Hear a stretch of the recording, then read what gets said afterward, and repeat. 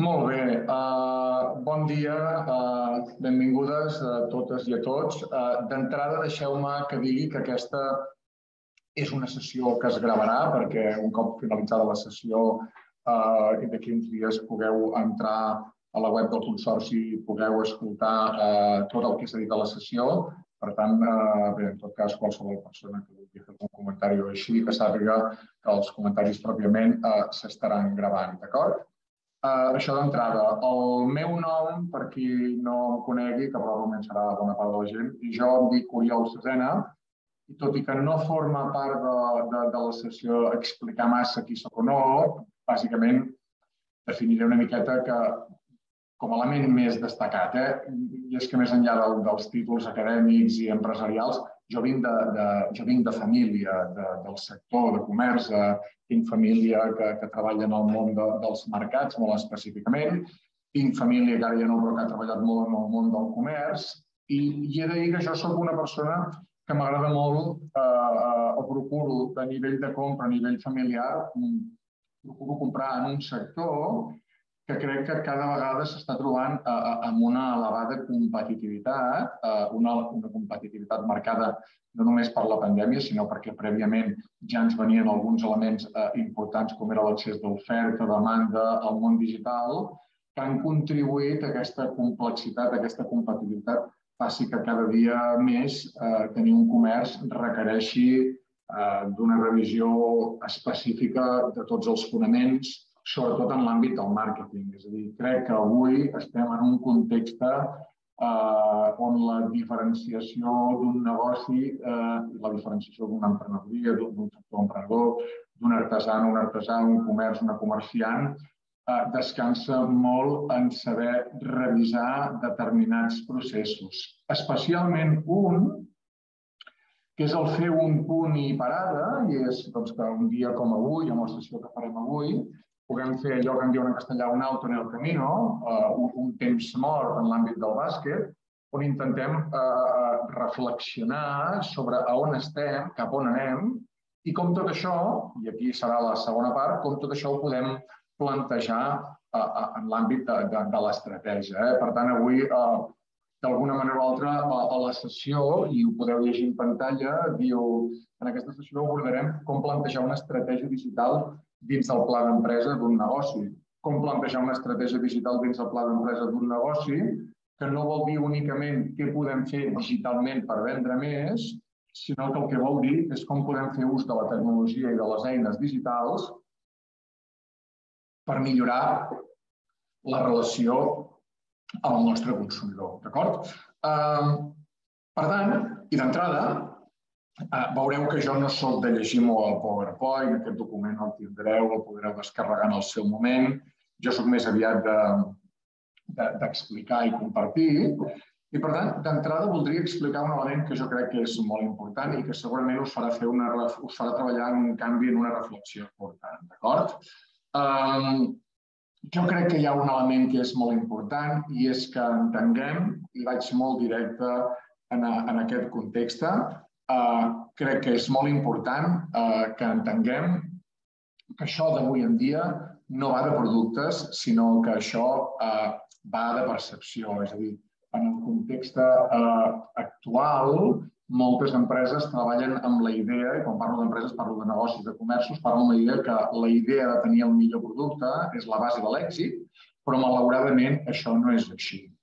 Explico això perquè quan parlem de la idea de com plantejar una estratègia digital en un comerç, en un negoci, hem d'entendre que l'estratègia digital no és quines eines digitals podem utilitzar per vendre més, és a dir, com podem fer servir les xarxes socials, Instagrams, eh, aplicatius mòbils, l'e-commerce, una web, és a dir, la història no és com podem fer totes aquestes, utilitzar totes aquestes, eh, totes aquestes eines perdó, per vendre més, sinó que la idea que a mi m'agradaria reflexionar o reflectir o definir, perquè, perquè treballem en la reflexió, és dir, com podem fer ús del món digital i de les eines que la tecnologia ens dona per millorar la relació amb la nostra clientela.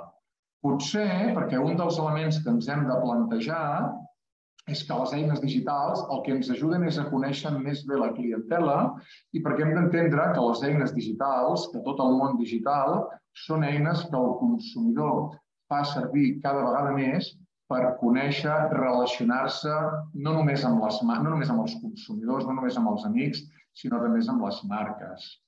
Masses vegades he vist, vull començar a pensar que ara ja no és així, que moltes empreses comencen els comerços diferent, artesans, artesanes, etc etc treballen amb una idea de dir, ostres, vaig utilitzar un perfil d'Instagram, vaig a treballar un perfil de, de, de, de Facebook, vaig a treballar qualsevol eina, vaig a fer una newsletter, tot enfocat a com poder donar a conèixer el meu producte, explicar les característiques del meu producte, explicar que tinc promocions, explicar qualsevol cosa que, falgui, que faci que vulguin a, a, a comprar més. No més lluny de la realitat, no?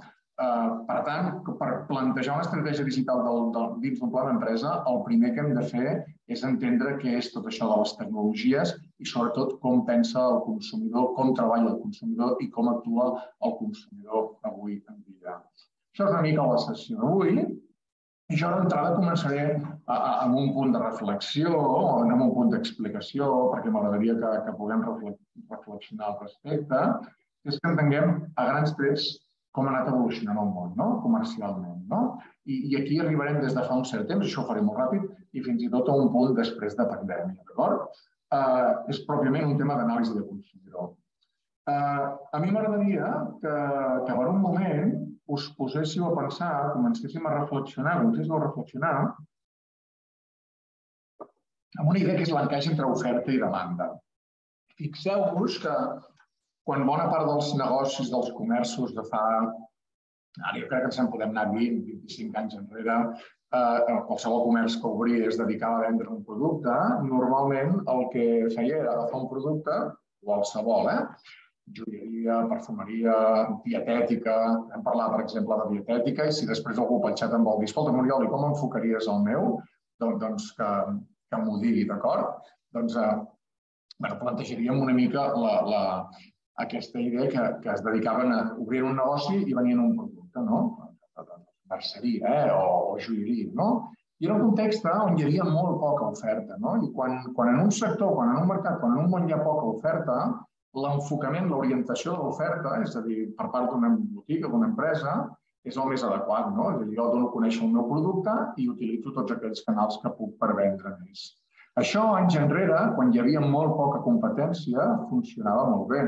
Jo recordo a, a, a alguna persona propera a la meva família que quan es dedicava a vendre roba, per exemple, doncs li era relativament fàcil, no? La botiga li funcionava bé, no? Doncs venia pantalons, venia camises, venia samarretes i el consumidor pròpiament doncs, doncs comprava aquest producte sense cap tipus de problemes. En aquell moment no calia una estratègia digital, en aquell moment no calia una estratègia de negoci, en aquell moment l'únic que calia era donar a conèixer el producte, comunicar el producte i quan es comunicava, es comunicava hola, bon dia, jo tinc un producte que són pantalons i te'ls venc. I es feien servir els canals que fos. En aquest cas, en aquest cas, en aquell cas perdó, eren totalment eh, offline, no? eh, fora de l'àmbit digital. Eh, amb el pas dels anys, això va anar canviant una miqueta i va començar a entrar tota la, la, la, competència, no? la competitivitat, la, la, la, la, la productivitat. No? Llavors, eh, Eh, cada vegada hi havia més competència i els comerços van començar a veure que quan intentava vendre un producte, ostres, ja no era tan fàcil, no? Això de comunicar i de donar a conèixer un producte, dir, ei, eh, carnisseria salat, o dir alguna eh? O, o, moda home Joan, o que sigui. Tenim, des de fa 30 anys, tenim aquest producte, tenim aquests serveis. Eh, va començar a donar que això no era clau d'èxit perquè costava, perquè en certa manera hi havia molta competència. No? I quan en un context comercial, quan en un món hi ha molta competència, el consumidor eh, va agafant cada vegada més expertise, no més experiència, no? perquè veu que hi ha una, dos, tres, quatre empreses de moda, per exemple, o del que sigui, que li van donant a conèixer. Llavors ell diu, mira, aquest m'està oferint aquest producte amb aquestes tonalitats, aquest m'està oferint aquest preu, però jo també he vist que aquest altre m'ofereix això. Dic, ostres, ara ja no tinc un lloc per on escollir, sinó que tinc cinc llocs. Ja veureu on vull anar a parar després, d'acord? En aquell moment, la comunicació uh, l'estratègia no, no era perquè la comunicació pròpiament uh, era, era, era molt fàcil, d'acord? Clar, van arribar en un momentet on, on les botigues, els comerços veien que comunicant el seu producte i les característiques del producte i l'oferta de serveis que tenien, no n'hi havia prou com per diferenciar-se. I aquí va néixer un element que jo crec que és interessant, que en aquell moment és quan vam començar a parlar d'allò que s'anomena el marketing, no? Que no màrqueting, eh? és a dir, faig una mica en broma, no? Allò de dir, i algú deia, i què és màrqueting? No? I deia, màrqueting, màrqueting és l'art de venda.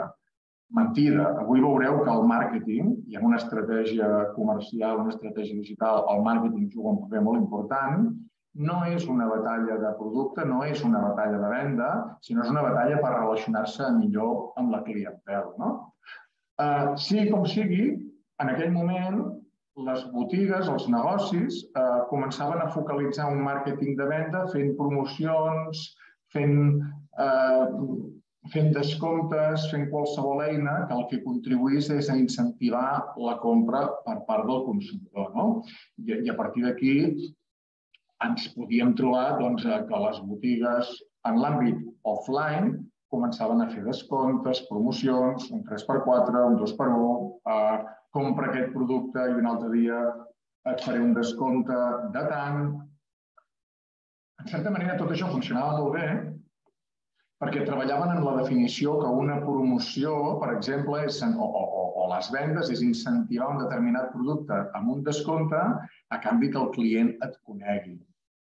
Allò en el seu moment va funcionar, però com que l'oferta cada vegada anava sent més gran, més gran, més gran, va arribar un momentet probablement ja en uns anys no gaire llunyats, on, on les botigues eh, treballaven, eh, tothom feia promocions, tothom feia descompte, tothom donava a conèixer noves línies de producte i aquí es van anar trobant cada vegada o ens hem anat trobant amb un consumidor que cada dia és més expert i que diu ei, no perquè tinguis molts productes, no perquè em facis moltes promocions, et compraré més. Tinc molta oferta, hi ha molta oferta, tinc coneixement i cada dia sóc menys fidel.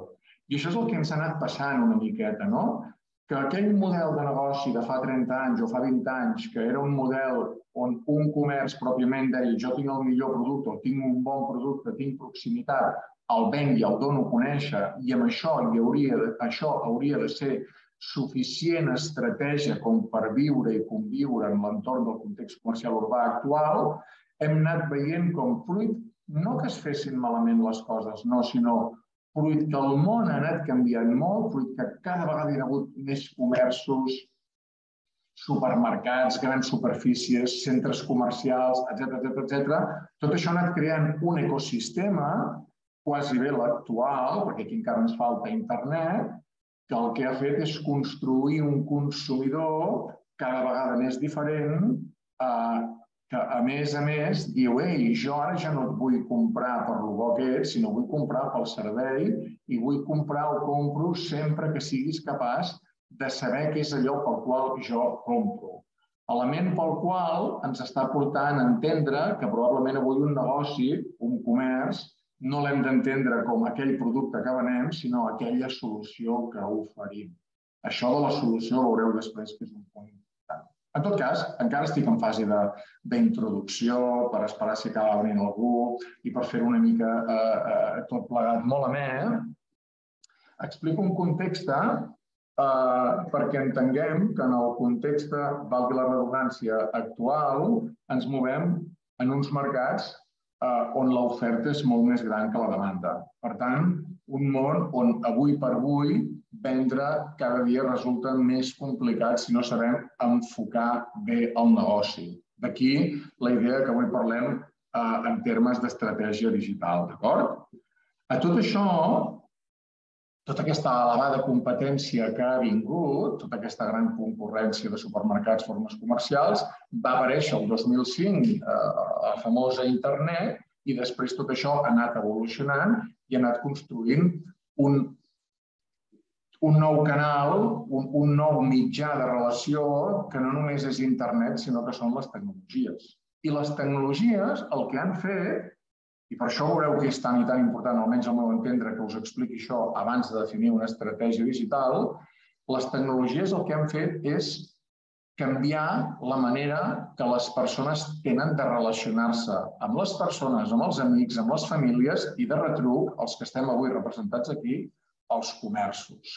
Explico això perquè m'agradaria definir molt clarament que les tecnologies, especialment els telèfons mòbils, els Androids, aquests dispositius, eh, el que han contribuït o estan contribuint és a canviar la manera que tenim les persones en relacionar-nos i, per tant, la manera que tenim les persones en relacionar-nos amb les nostres marques, amb els nostres proveïdors, amb els nostres, amb els nostres botiguers, amb els nostres mercats, amb els nostres artesans, amb qualsevol forma de negoci. Fixeu-vos un detall, que tot i que no ho tinc en imatges, mentalment vosaltres ho podeu intentar, eh, ho, ho esbrinareu vosaltres mateixos. Imagineu-vos, i això és una mica anecdòtic i, i de forma simpàtica, eh? imagineu-vos l'any l'any 82, quan, quan hi havia el Mundial de Futbol i crec que jugava Itàlia contra Alemanya, que va guanyar Itàlia 3 a 2. Jo recordo perfectament que jo tenia eh, 7 o 8 anyets i recordo que érem a casa mirant la tele, el meu pare, la meva mare, eh, el meu germà, la meva àvia.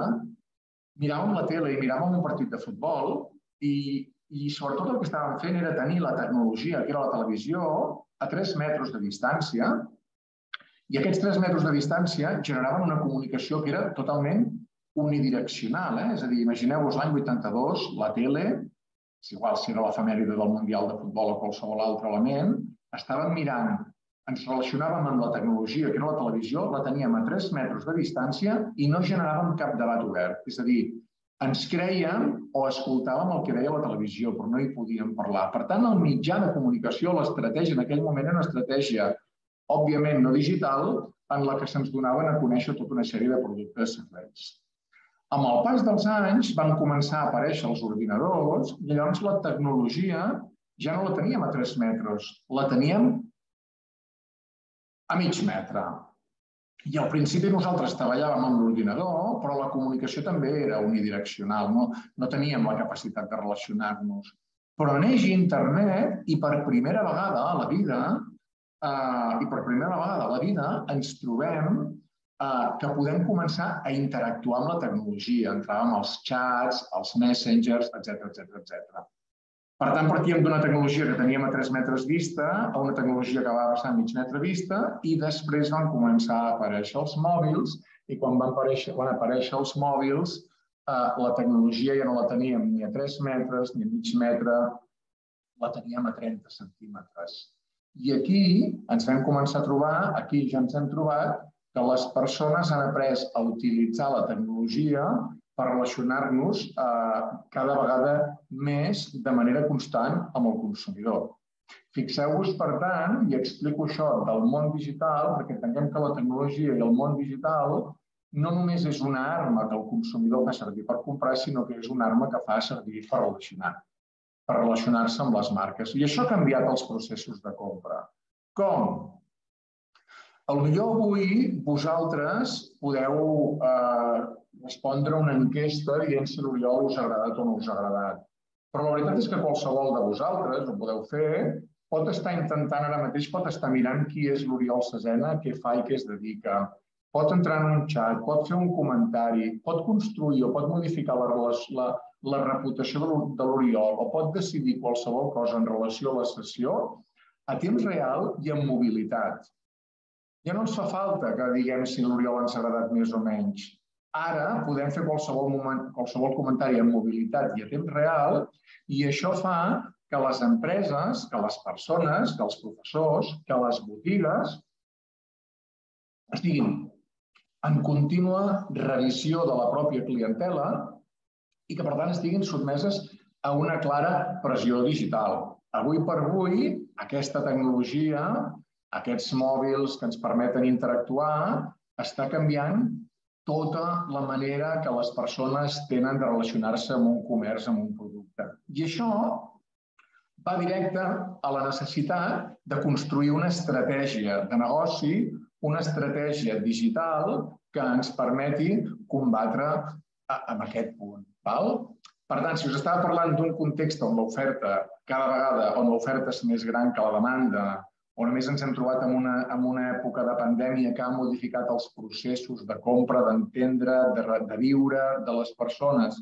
Si a tot això li sumem una tecnologia que ha canviat la manera en què les persones tenen de relacionar-nos, de relacionar-se amb les marques, de relacionar-se amb els amics, de relacionar-se amb una botiga, és lògic pensar que en aquest context actual ens fa falta eh, començar a canviar alguna cosa. La primera, sobretot, entendre que el món comercial actual és molt competitiu, és molt competitiu, hi ha molta oferta, no només hi ha molta oferta, sinó que la pandèmia, les guerres, eh, les guerres actuals, hi ha tota una sèrie d'elements, estan construint un consumidor que s'està tornant molt prudent o que diu m'ho vaig a patejar tot eh, perquè vull gastar, perquè vull viure, que a més a més té una eina tecnològica que el permet estar en contínua mobilitat i en, en, continua, en continu contacte eh, amb les marques, amb els consumidors, per saber què passa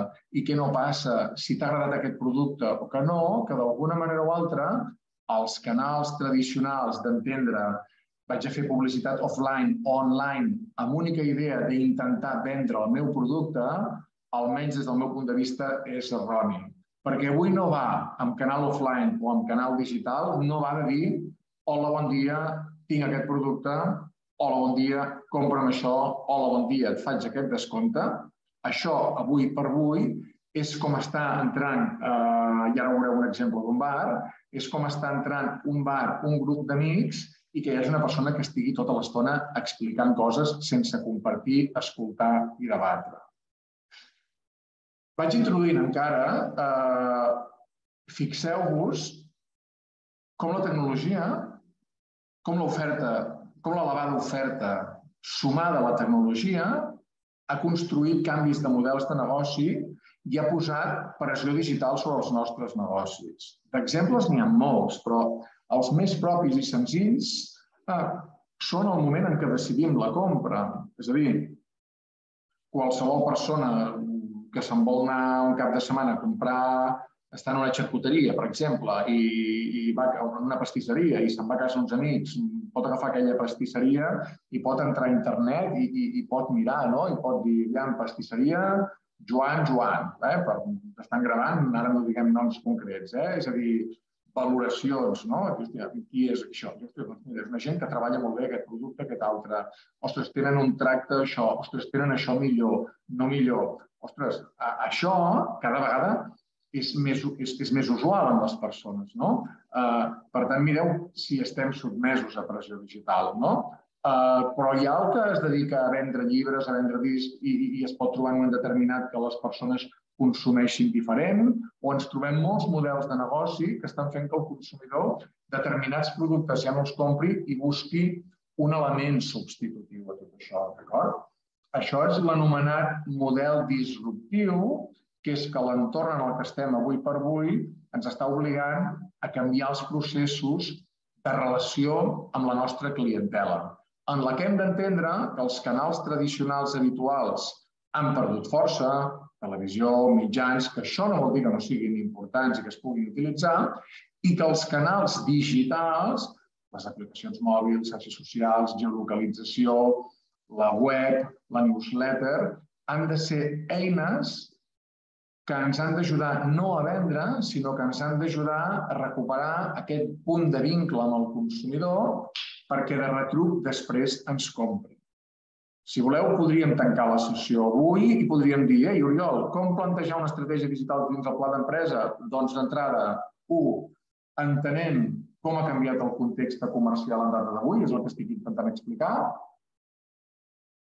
Dos, fer esforços en conèixer què és allò pel qual la clientela ens compra, quina solució li aporto jo al meu client, a la meva clientela, a la meva clienta.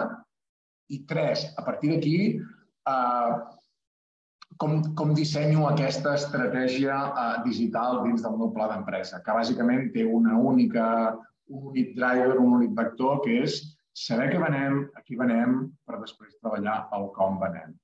Per últim, i abans de treballar en aquesta introducció per veure si sóc capaç, si jo sóc capaç de seduir-vos en aquesta sessió i en aquest àmbit, vull que tot això que explico ho puguem entendre en un darrer exemple. I, I ara us explicaré un exemple en el que m'agradaria que intenteu definir-vos i intenteu dir Oriol, jo crec que estic en l'escenari 1 o estic en l'escenari 2. I a partir d'aquí podrem treballar sobre el que és l'escenari 1 i l'escenari 2, construir la nostra pròpia estratègia digital. D'acord? Imagineu, i aquest és un exemple um, totalment fals, és a dir, és un exemple que a vegades utilitzo, però és per visualitzar com funciona el món en l'àmbit de la gestió comercial i, i com les xarxes socials i com el món digital hi pot afectar. No? Vosaltres imagineu que la sessió d'avui és presencial i l'acabem i jo me'n vaig a fer un cafè amb l'Àngels, eh, o la Maria i en David. Eh? Suposem la Maria i en David, d'acord? Quan acaba la sessió, poso a parlar amb la Maria i diu, és que això que expliques és interessant, m'agradaria parlar una miqueta més. No? I ve en David, en David em diu, jo també. Dic, doncs escolta, mira, i els dic, doncs mira, Maria, si això són les 12, de 12 a 12 i mitja podem anar a fer un cafè tu i jo, i David, si vols després de 12 i mitja una, tu i jo quedem al mateix lloc. Perfecte. No? Doncs jo plantejo doncs, fer dues reunions, una, dues trobades, dos cafès, no? Amb la Maria en David, no? I la Maria i jo ens anem doncs, a, a, a, en un bar i, i ens posem a parlar aquesta. No? I el primer punt que surt és que li dic a la Maria, bueno, Maria, què t'ha semblat la sessió Maria em diu, bueno, molt interessant, perquè, perquè com això m'agrada jo m'estic formant en aquest tema i m'interessa molt, no? I llavors, de cop i volta, salto i li dic a la Maria, doncs, escolta, Maria, eh, que sàpigues que, que jo tinc una web on tinc aquests, aquesta formació i tinc aquests, aquesta formació, aquests recursos. A més, saps que si vols et podem fer consultoria, si vols ens pots trucar i et podem oferir això. A més, a la universitat faig això, plantejo això. I la Maria, de cop i volta, diu, hòstia, Déu, jo he quedat amb aquest xicot mitja horeta per fer un cafè per veure si ell em podia donar un punt sobre com enfocar el meu negoci i el paio aquest tota l'estona m'està dient ven, ven, ven, ven, no? Imagineu-vos, per tant, un bar on hi ha dues persones, una de les quals està parlant tota l'estona i només està enviant missatges unidireccionals intentant vendre. És a dir, què hi de lo el meu producte és la formació, aviam què li puc vendre a la Maria. Total que a les 12 i 25 la Maria eh, la truquen i em diu, mira, m'ha sortit una cosa, me n'he d'anar una mica abans, no et sap greu. I se'n va probablement fastiguejada que l'Oriol l'hagi estat patabalant tanta estona. Al cap de cinc minuts arriba en David i en David i l'Oriol es posen a parlar i l'Oriol li diu a David, David, què tal la sessió? Bé, molt bé, o, o no, eh? Jo no voldria fer proselitisme de si ho fem bé o no, eh? Però diu, m'ha agradat, més jo estic amb això, i llavors l'Oriol salta i li diu, doncs mira, pots entrar en aquesta web que fan aquesta formació, són recursos gratuïts, a més a la meva web et pots descarregar això, si necessites algun dia un cop de mà, digue-m'ho, m'envies un mail, jo no tinc cap problema. Conec que hi ha aquest foro de debat o aquest fòrum amb diferent gent que, que comenten tots aquests temes. Aquí tens aquesta altra web que et pots descarregar això, tens aquest curs gratuït i clar, de cop i volta se'ns fan de 12 i mitja a 1 i quart i en David salta i diu, hòstia, ei, Oriol, moltíssimes gràcies, m'has ajudat molt en tot plegat, d'acord? I, i l'Oriol, doncs, se'n va. Fi de la història. Escenari 1, Maria, escenari 2, David. Uh, probablement, un escenari, el primer, és un escenari totalment unidireccional, on fem servir la tecnologia, i quan parlo de tecnologia vull dir els canals de relació que tenim amb les persones, únicament per vendre el nostre producte i únicament per mirar-nos a nosaltres mateixos. És el que s'anomena enfoc, enfoc d'orientació al producte, és a dir, el meu objectiu, la meva estratègia és vendre un producte més enllà de les necessitats o els condicionants del mercat. I això, en l'argot unidireccional, és un escenari que diu que màrqueting és igual a producte o a vendres. El segon escenari, el de l'Oriol i, la, en David, és un escenari que l'Oriol no està posant per sobre de tot el seu producte, sinó que primer està posant el consumidor i intenta saber escoltar i veure què és el que aquell consumidor li pot interessar. I el comença a omplir de recursos, d'eines i d'idees que creu que poden ser interessants per aquella persona, que el que busca no és més que una solució d'aprenentatge i aprendre introduir-se en un món digital. Segurament, si jo us pregunto que si anéssiu a fer un cafè amb mi, si voldríeu ser la Maria o en David, jo ja entenc que tots direu que voleu ser en David. Perquè quan estem en un bar o en una xarxa social, el que busquem no és algú que ens comenci tota l'estona això, allò, allò i allò. El que busquem és algú que ens acompanyi o que ens dongui idees, no? Per tant, quan tenim, anem a fer un cafè amb algú i aquesta persona, a més de dir-se jo, es pot dir el jo i tota l'estona sóc jo, aquest tipus de persones normalment les deixem una mica de banda i en l'argot comercial, quan veiem que ens estan venent massa el producte, eh, tirem cap a l'altre. Per tant, probablement eh, tots voldríeu ser en David, amb respectes per la Maria, si tenim alguna Maria a la sala avui. Eh? Uh, però aquesta no és la qüestió que voldria que em responguéssiu, és una pregunta retòrica, no espero resposta. Uh, aquesta no és una pregunta, per tant, directa que us pregunto uh, què us agradaria ser, ho vull deduir. La qüestió que a mi m'agradaria saber i que, per tant, voldria que reflexionéssim és, com a empresa, com a negoci, on ens estem ubicant. Ens estem ubicant en la línia de fer servir l'estratègia digital, si se'm permet dir així, o estem en aquella idea de dir totes aquelles eines digitals i no digitals que m'han explicat, les estic utilitzant per donar a conèixer el meu producte, o estic treballant uh, l'altra part i utilitzo les xarxes socials, utilitzo la geolocalització, utilitzo la web per compartir, generar bidireccionalitat, generar relació, generar vincle i en, i en definitiva i en conseqüència generar amor amb el meu propi consumidor.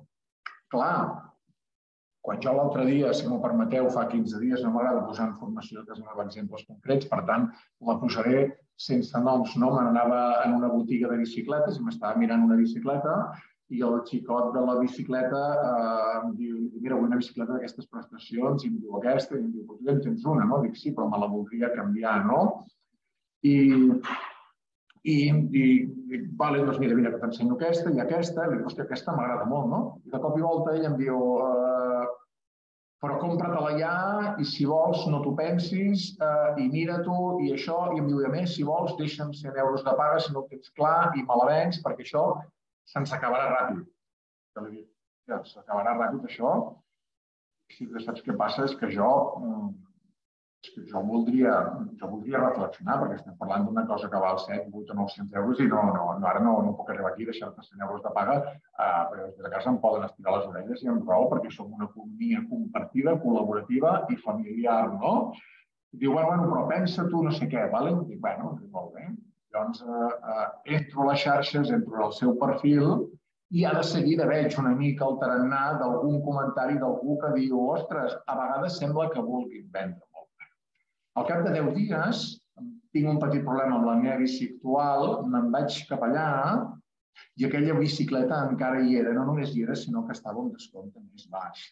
Uh, intento venir a dir que, almenys el meu punt de vista actual, orientar el negoci a la venda i a, i, i a intentar vendre el producte i a vendre i a utilitzar tots els canals que hi ha avui digitals i no digitals i que en són molts aquests canals únicament per vendre és un mal negoci no perquè no sigui una estratègia de venda, sinó perquè el consumidor, a diferència de fa uns anys, té tantes oportunitats per conèixer què passa al negoci eh, que abans d'entrar a, la, a la botiga de bicicletes o abans d'entrar a la botiga ja sap coses d'aquell tarannà, d'aquella manera de ser de la botiga i del plantejament que fan. Sabeu allò que una psicòloga o un psicòleg diu quan veu una persona, el llenguatge corporal indica molt d'aquella persona, com dona la mà indica molt d'aquella persona.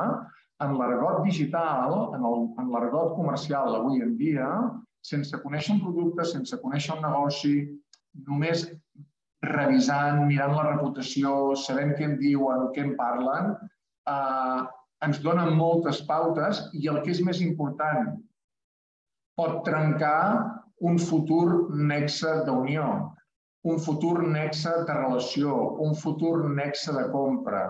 Potser ens focalitzem molt amb els nostres clients i en com vendre'ls, però hem de pensar que avui hi ha tota una tipologia de clientela que encara no és clientela nostra i que ho podrà arribar a ser gràcies al món digital o que podrà arribar a no ser-ho, però ser prescriptor. I aquest és un punt, per exemple, molt important. I jo, que soc d'exemples, i sóc algú proper, explico que fa pocs dies, pocs dies vol dir fa pocs mesos, no? Em ve la meva dona i em diu, Oriol, diu males notícies. Dic, hòstia, la meva dona diu males notícies, malament anem. Dic que una de les nostres filles eh, el, el, el dentista ja m'ha dit que li haurem de posar bràquets i... No, va dir que el dentista m'ha dit que li haurem de fer tres, eh, es diu això, tres càries. La nena té 8 anys, eh? I com aquell que diu, li estan canviant les dents i diu, li haurem de posar tres càries i un segellat. I m'ha dit que cada càrie val tants diners i que si volem ja podem començar. Clar, això són 400 o 500 euros, em diu, o 400, no sé. Diu. Si hi ha algun dentista aquí, per al·lusió, després podem parlar, eh? però no és la idea. I, I després, diu, ja m'ha dit que d'aquí un any segur que li haurem de posar ferros perquè hi ha, o bràquets perquè hi ha una, un element que no surt. Clar, jo l'agafo i li dic, vale, d'acord, molt bé, però sense ser client, deixa'm veure qui és aquesta persona. Diu, com es diu? Tal, tal, tal. I a més mira perquè és catedràtic de no sé què, perquè la seva web explica tot això, explica les seves meravelles. Aquí un ja comença a olorar i diu, i va, li venen la idea que ha de fer tot això. A la seva web es dedica a explicar el bo que és ell. Uh, I jo li dic, i com era l'empresa? Diu, molt mac, els hem donat colors, els hem donat tot això. Dic, anem a mirar què passa amb aquesta gent. I quan ho mires, no, no et sorprens, no? No et sorprens en la mesura que de cop i volta veus algun comentari de la gent que diu tenen moltes ganes de vendre. Jo entenc que el món digital, una bona estratègia digital, és per crear una bona reputació online, no d'aquell client que ens compra de tota la vida. Aquí caldria veure si esteu a Vilablaret, si esteu a Santa Coloma de Farners, si esteu a Barcelona i ho podem parlar i debatre després.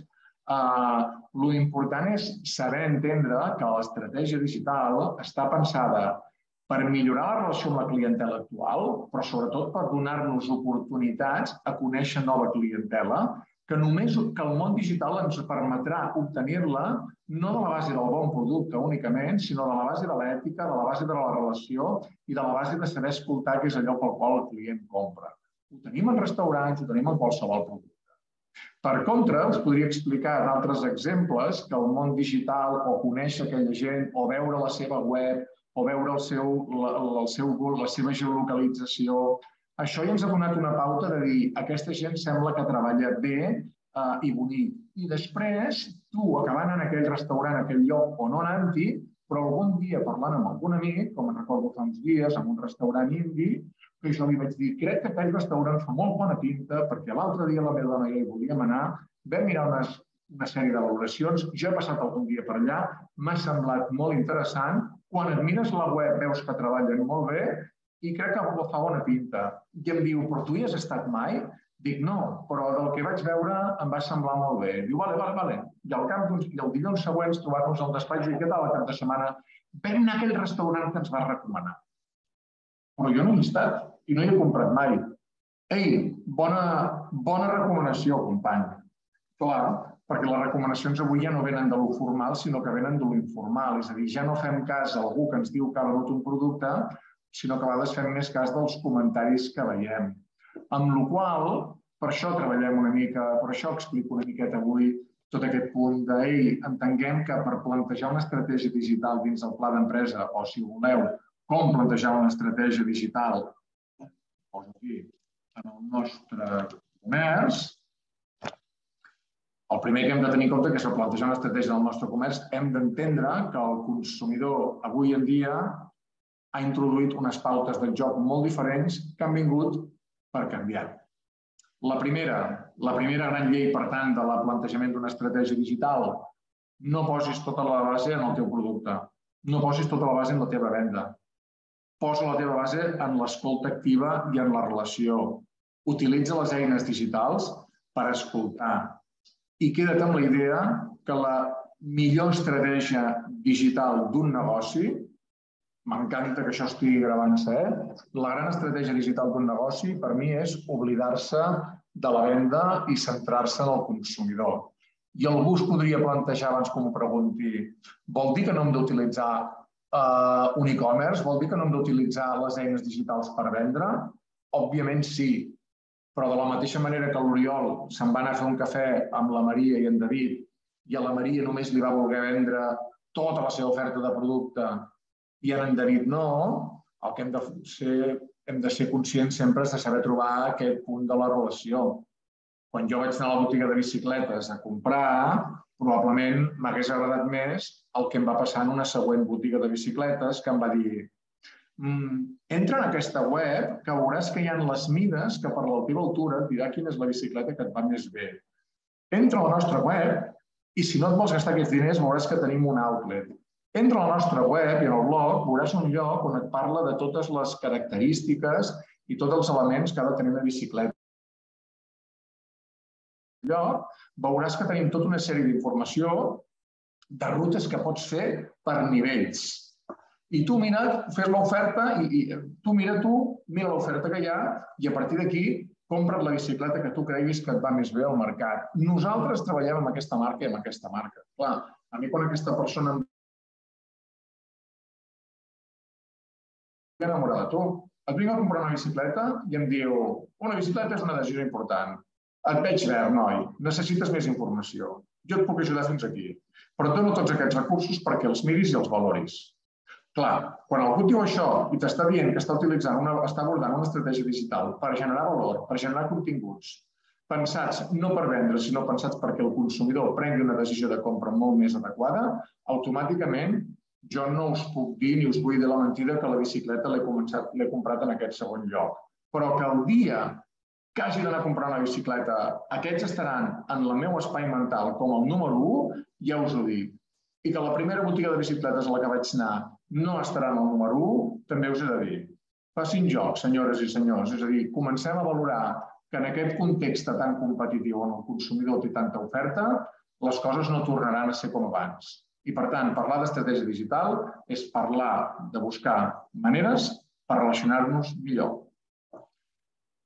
Punt final a la primera part. Uh, jo no faig descans, no dic que no hi ha descans, però sí que faig petits descans de dos minuts. Uh, el faig d'un, perquè reflexioni, així a mi em deixeu mirar si al xat hi ha alguna pregunta, per tant, dono aquests dos minuts, són les 10.48, a les 10.50 i tornem, eh? Però m'interessa que reflexioneu tot això eh? i em digueu, ei, Oriol, quin rotllo de sessió, ei, Oriol, no estic d'acord amb això, ei, Oriol, no he acabat d'entendre això, ei, Oriol, i tu com veus això? Eh? Ara us dono aquest punt, eh, això és obert a que participi qui vulgui o no, jo em dono aquests dos minutets, d'acord? Vinga, va. Si algú vol parlar pel xat o, o vol, vol parlar obertament, eh, jo encantat de la vida.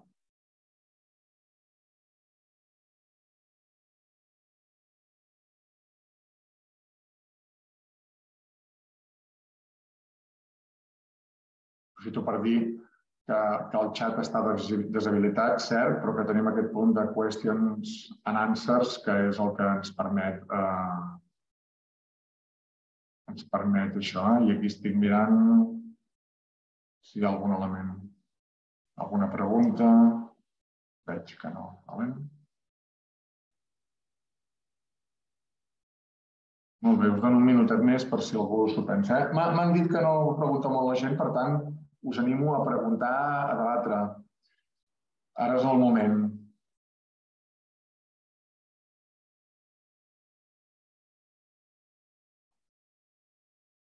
Veig que l'Olga us va,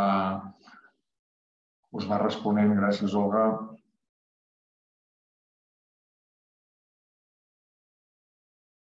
Donem doncs, 30 segons més. Que no hi ha ningú que vulgui fer cap observació, cap, cap pregunta. Res, res, res, res.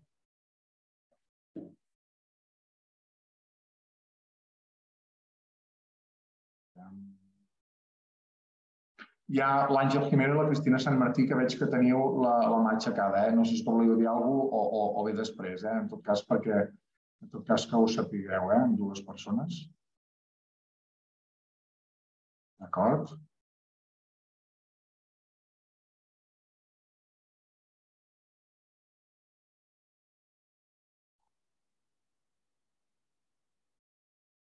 Molt bé.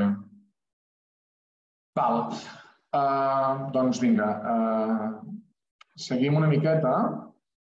Bé, això no, no és que fos introductori, la veritat és que anireu trobant uh, diferents elements. Uh, jo crec que per poder construir una, una estratègia digital, uh, jo crec que hi ha un primer element uh, que val molt la pena que tingueu en compte. Uh, estratègia digital, estratègia de negoci,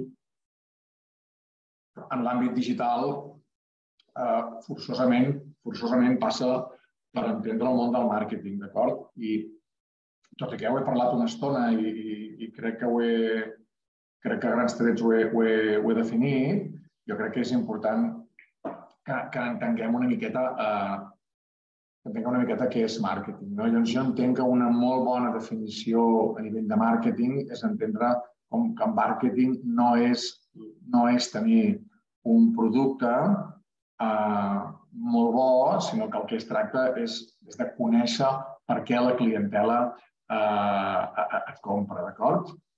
Llavors, eh, per exemple, mira, aprofito eh, que ha algunes preguntes que m'aneu fent i així les vaig responent. Eh? I tinc aquí una noia que em diu, perdona, Oriol, m'he perdut un moment, però sí he sentit l'explicació de la botiga de bicis que t'ha dirigit a la web. El meu dubte és, eh, has dit que és bo això, Uh, bé, Carme, en primer lloc, gràcies per preguntar. El que és bo és escoltar i el que és bo és generar una relació de confiança. És a dir, perdó, el que és bo en l'àmbit digital, i ja estem en l'àmbit digital avui, per tant jo no vull entrar en cap altre àmbit, el que és bo és que, en el teu procés de relació amb la clientela, abans d'entrar a la botiga, durant la botiga o després de la botiga, l'acompanyis en totes aquelles eines que l'ajudin a prendre una bona decisió de compra. És a dir, que et costi o no, ens costi entendre o no, la nostra funció, la nostra obligació com a marca, com a venedors, venedores, com a persones, perquè al final en l'àmbit del comerç dels mercats l'artesania, sobretot el factor persona és molt important, el que és important és que tu li donis eines per ajudar a prendre aquella decisió amb independència de si et compra tu o no. Òbviament que vols que et compri, per tant, no és que l'hagis de dirigir a la web, perquè potser no tens la web, però sí que li pots donar informació de dir en aquesta web, ja sigui la meva, en aquest blog, en aquest espai, hi trobaràs informació. Si a mi l'altre dia em trucava una persona que em deia mira, voldríem treballar aquest tema, ens podríeu ajudar? Clar, jo li deia, mm, crec que no, perquè crec que aquest és un tema que no li pertoca eh, molt a la teva tipologia de negoci. Dic, entra a la nostra web que allà hi trobaràs informació de què és aquesta llei, de què és aquest element i et pot interessar. Val? Per tant, jo crec que en aquest sentit és on cal ajudar. Vale? Carme, respon-me després si té respost o no. Eh? Uh, D'acord, la Cristina em diu bon dia, res, és que tenia el xat desconnectat, vale, cap problema. Hi ha una altra persona que jo vaig llegint, eh? no, com que no n'hi ha moltes, crec que també és una manera de, Diu, tinc un establiment de restauració, vull intentar vendre un menú per emportar. Si el menú dona la recepta, creus que és una bona estratègia animar que ho preparin ells mateixos o, o és tirar pedres al meu teulat? Com que posa Anonymous, et diré, hola Anonymous, eh, i torno a llegir-la. Eh? Està, està bé la pregunta. Diu, tinc un establiment de restauració, vull intentar vendre un menú per emportar. Si el menú dona la recepta, creus... Jo et dic, aquí et diria, que és el que farem després, que és molt important sempre saber, entendre què és allò que venem, és a dir, quina és la solució que li portem a la nostra clientela. Per exemple, jo en les meves formacions intento ser pròxim, un punt divertit, tot i que potser en un espai digital com aquest costa, i, i, i fomentar l'aprenentatge. No? Llavors, un, un restaurant, què és el que vol? Mm, vol, en aquest cas, aquesta estratègia, vol facilitar la compra, eh, vol educar el consumidor a que aprengui a fer-se el seu. Jo potser m'atreviria a dir que el concepte no és si recepta sí, recepta no. Jo crec que la idea és que entenguin que el teu restaurant el que és és un facilitador de compra i que, per tant, poses l'èmfasi en dir soc un restaurant pensat per la teva comoditat, uh, un restaurant un punt saludable o no, explicar la recepta jo crec que seria, jo personalment, eh, crec que seria més una estratègia d'explicar de, algun element que potser no acaba de ser del tot interessant. T'explico un exemple. Anys enrere, en un mercat municipal, Santa Eulàlia, Hospitalet de Llobregat, la meva cosina, parada de bacallà, posava receptes del bacallà i ell em deia que era la seva manera d'orientar-se al consumidor. Però amb els anys, ella i jo ens vam adonar que el consumidor no volia tant que li expliquessin com fer la recepta, per tant allò era un element propi de la, una característica del producte que explicava les especificacions tècniques, quan tenia una tipologia de consumidor que el que volia no era tant que li expliqués la recepta, sinó que el que volia és que el dijous a la tarda hi hagués un llistat de difusió en què li digués escolta'm, què tinc aquest cap de setmana per fer-me la, per, per, per fer-me el consum de producte, en aquest cas de bacallà, de manera fàcil. És a dir, dona'm idees a la celebració, dona'm idees a la comoditat. Jo diria que el restaurant no ha de plantejar tant la recepta, sinó que el que ha de plantejar són idees per facilitar. Per tant, més que la recepta, li facilitaria idees de per què comprar el teu menú. Menú saludable, menú capritxós, menú del tipus que sigui, d'acord? Ja em respondràs si té resposta o no, eh? I Carme, que després hem parlat tu i jo, perdona, no sé si havia de dir el nom, eh? en tot cas em diu, per mi sembla que seria millor que ell t'orientés, no que et dirigeixi la web. Bueno, no, no, no sé si ja t'haig respondre, si t'he respost prou bé abans. Eh, jo no pretenc eh, mai que, que s'orienti a la web perquè fins i tot soc partidari, i aquí vaig tirant petites fulles, que, que no sé fins a quin punt un comerç ha de tenir sempre una web o el que ha de tenir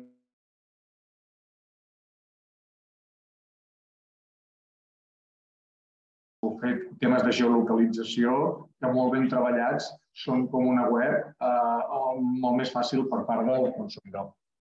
Aneu-me responent si us vaig responent bé o no. Eh? Uh, què més? Uh, hi ha algú que diu s'acaba de marxar, una reflexió de plantejament molt interessant, em dona bones idees de com abordar l'estratègia de màrqueting, no des del producte, sinó des d'una aposta de valor més enllà del producte en si mateix. Acabaré de veure la gravació aquesta tarda. Uh, bé, la persona que ha respost no sé si si has marxat o no, però en tot cas eh, ja pots marxar amb això. És a dir, per mi aquesta és la gran idea. Okay?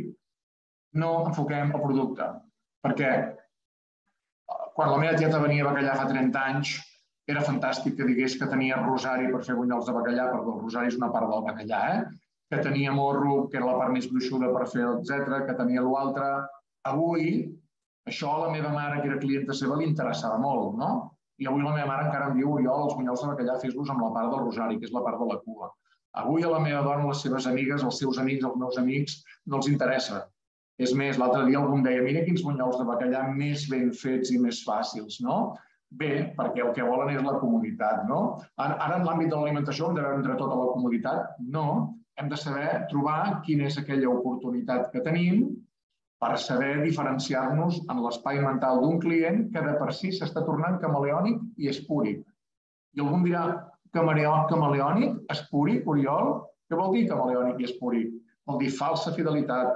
Fingim ser, fingim ser fidels, però cada dia som menys fidels. Entre cometes, si se'm permet, que està gravat això en l'argot comercial, si us plau. D'acord? Uh,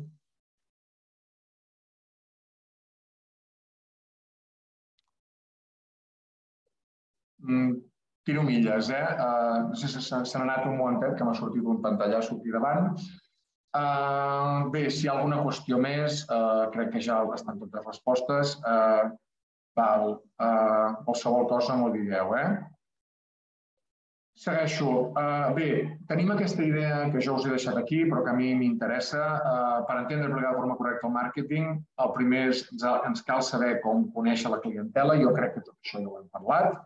Val? Eh, el màrqueting, per tant, és una mica aquest punt d'estudiar el consumidor, tot això ho trobareu, ho trobareu en tots aquests punts. I aquí us deixo una mica la que per mi seria la millor de les frases, eh? i el teniu a la dreta. Eh? Diu el màrqueting, i això una mica a la, a la Teresa, que és la noia que ha marxat abans, eh, que jo crec que és important. Màrqueting és una guerra de percepcions i no de productes que t'ajudarà a diferenciar el teu negoci respecte a la teva competència. 20 segons, llegiu-la, crec que val la pena.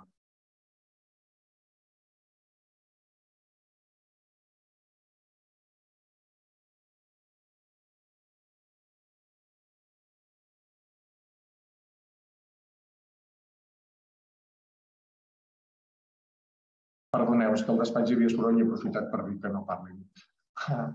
Valen, eh,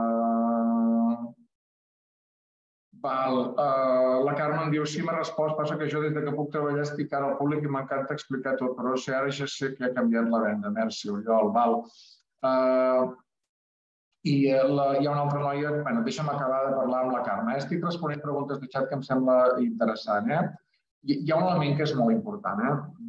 i és que hem de saber determinar el, el, el, el volum del negoci. Eh? Llavors, Carme, si m'ho permets, si, jo no sé si vols compartir el sector que tens, perquè això a mi m'ajudarà a, a respondre't una miqueta millor.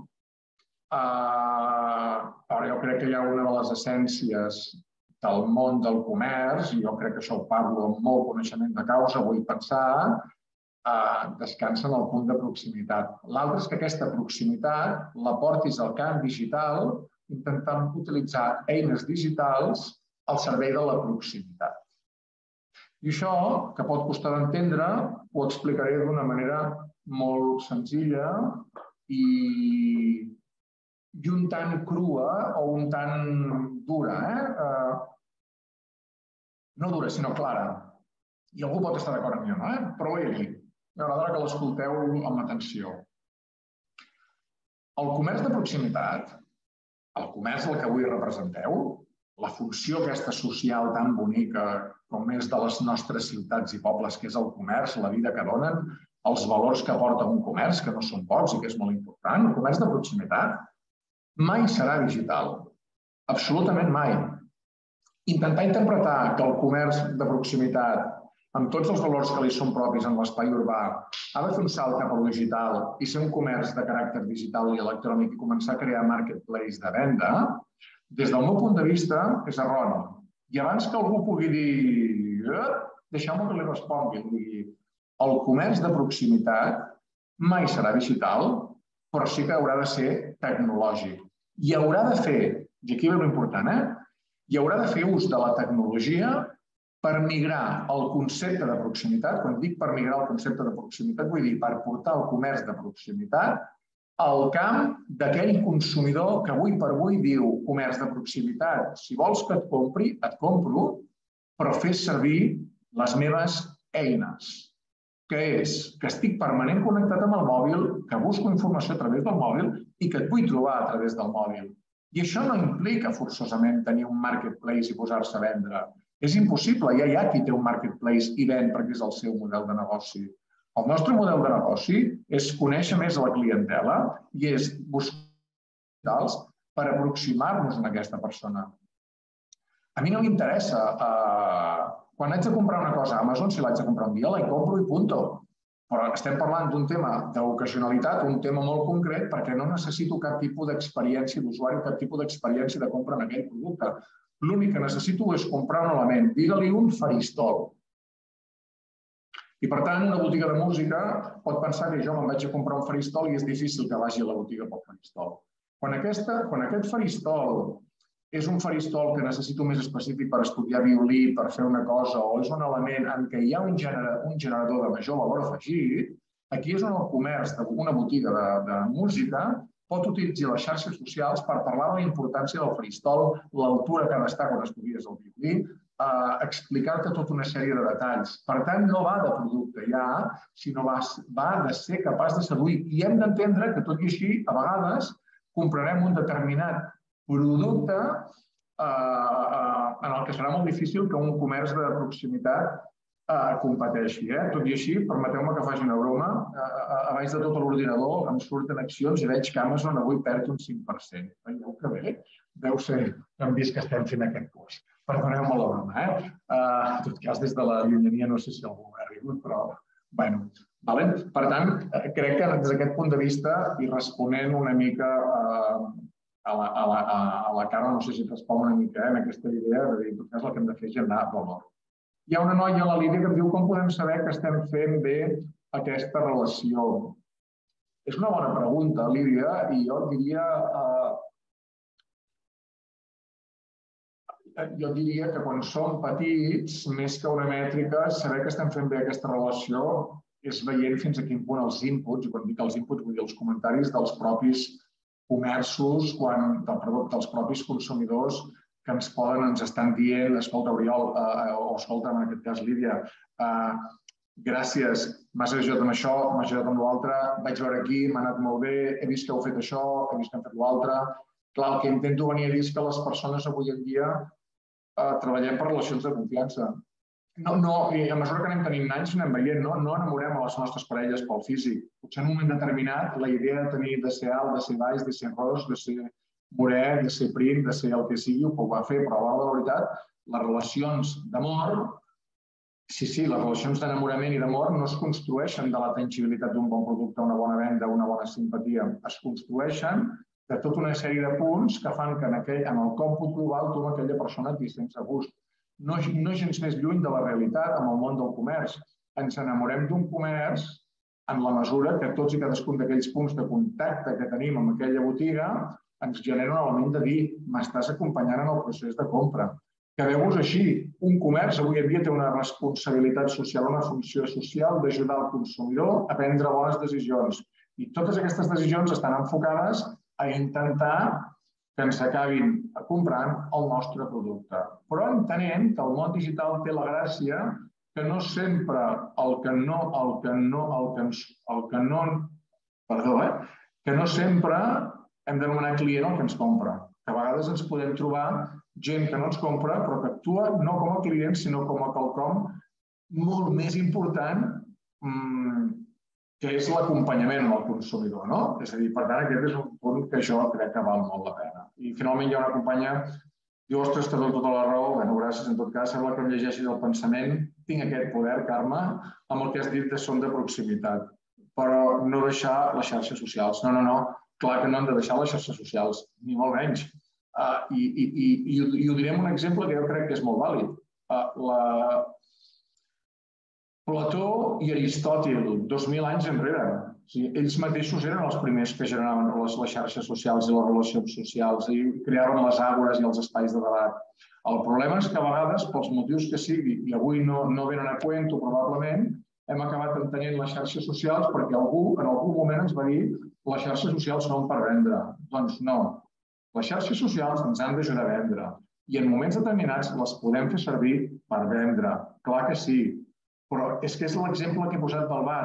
Si ara me'n vaig amb la Carme, amb la Lídia, la Maria i la Teresa a prendre un cafè en un bar i tota l'estona estic parlant jo de la meva empresa, dels meus cursos i el que puc fer jo, estarem parlant d'un bar on hi ha un paio que està parlant perquè és l'ego jo, és el jo, ell ho fa tot i no escolta les persones.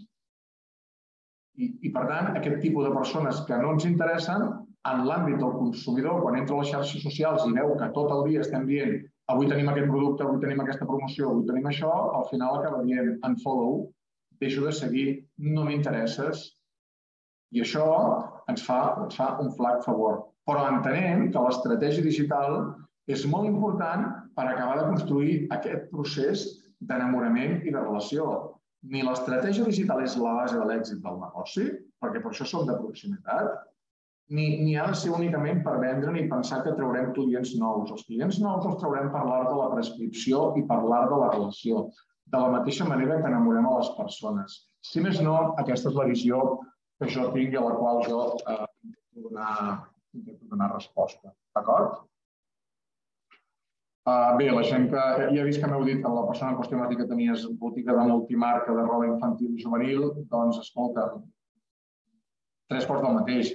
Has de saber trobar aquella percepció, aquell, aquell, aquell element que, que et diu una miqueta mm, què és allò pel qual la clientela et compra. I això ho veureu eh, tot seguit amb, amb aquest primer element que jo us plantejo aquí. Val? formulant tota una sèrie de preguntes perquè quan tingueu els apunts us la pugueu plantejar. Però jo ara us dono un minut, no, donaré dos o tres minuts, com que és el descans, no, és el, no hi ha descans, perdó, però com que estem ja uh, una miqueta més de l'equador de la sessió, ara és un momentet per començar a fer el nostre primer exercici de reflexió, d'acord? I diu, un aspecte molt important que el nostre negoci ha de definir és el seu entorn competitiu. Estic llegint, eh? Corri res. És a dir, si tenim clar que el nostre projecte, que el nostre comerç no està orientat al producte, que és el que fins ara ha intentat transmetre l'Oriol, és a dir, jo, i volem orientar-lo a la persona consumidora, és a dir, a la clientela, la consumidora, el consumidor, el que no és consumidor que ho pot ser, el que no és client i que no ho serà però que pot prescriure, cal que definim la necessitat o necessitats que volem satisfer. Un bon mètode, jo quasi que sóc prudent i no diria un bon mètode, diria el millor mètode és fer ús del gràfic que trobeu aquí, que diu, en un negoci per construir una estratègia de negoci comercial o una estratègia digital, ens, calen, ens cal donar resposta a tres grans preguntes.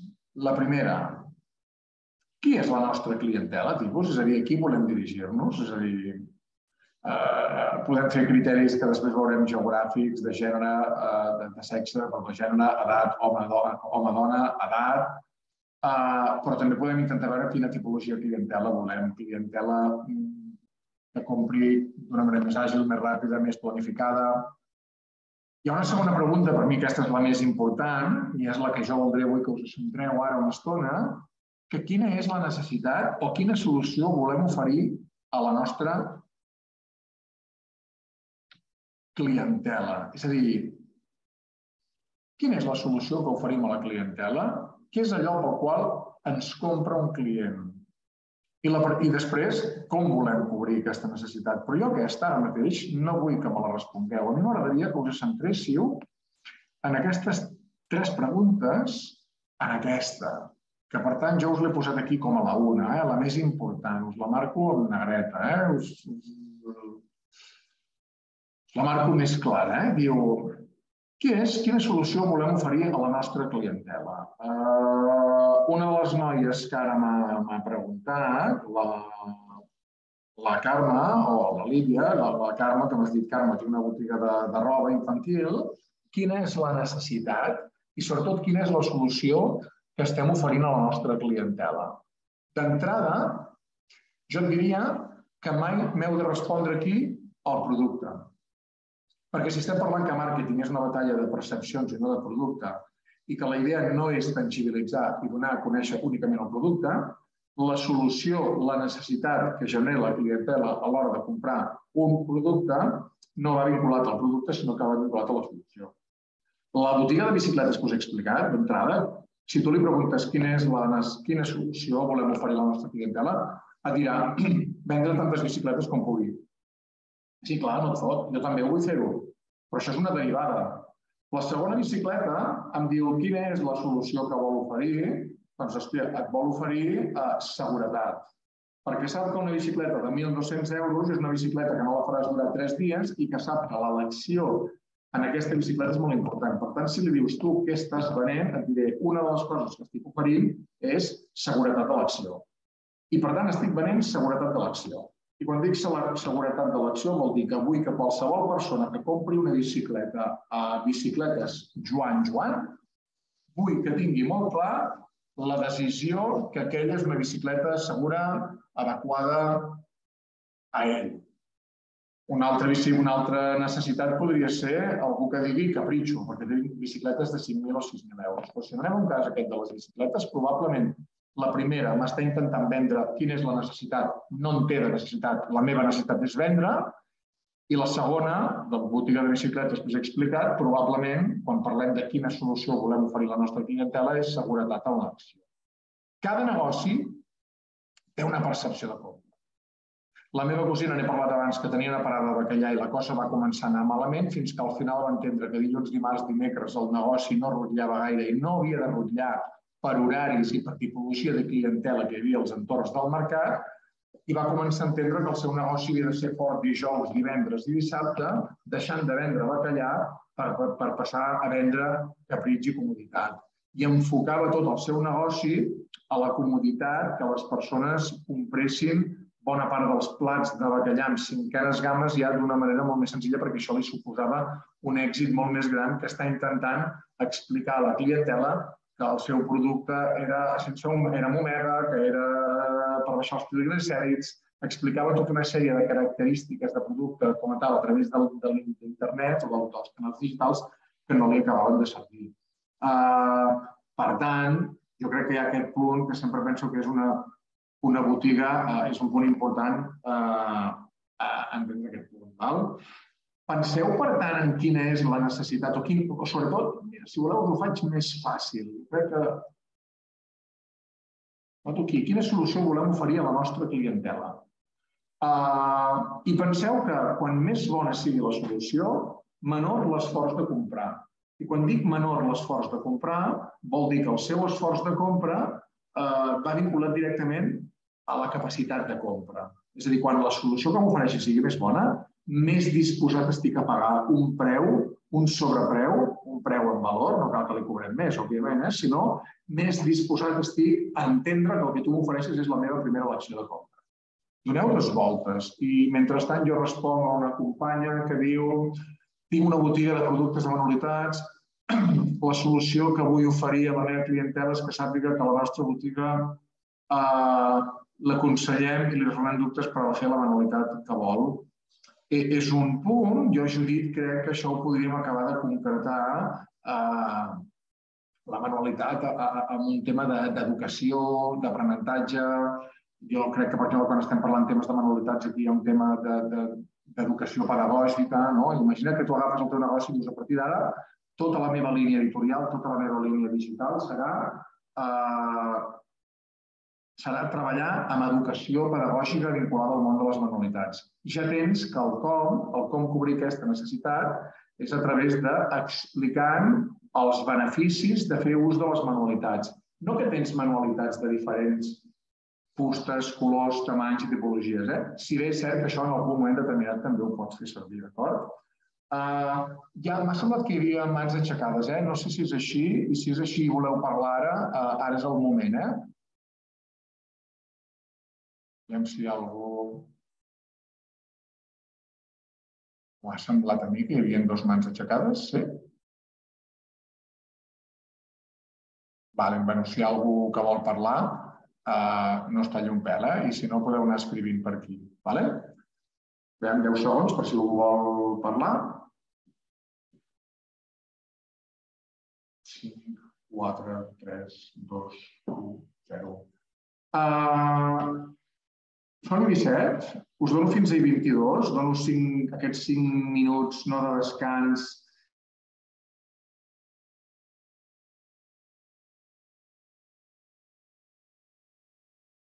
I jo us proposo que cap al xat, els que vulgueu, aneu dient, jo tinc una botiga de manualitats i tinc la sensació que venc això. Aquesta és la meva idea. Val? I mentre parleu, jo aprofito per anar a mirar una sala del costat si tinc algun cable, perquè m'ha sortit que hi havia algun petit punt de, de connectivitat. Vale? Us deixo aquests 5 minuts perquè aneu posant el xat, si us plau, d'acord?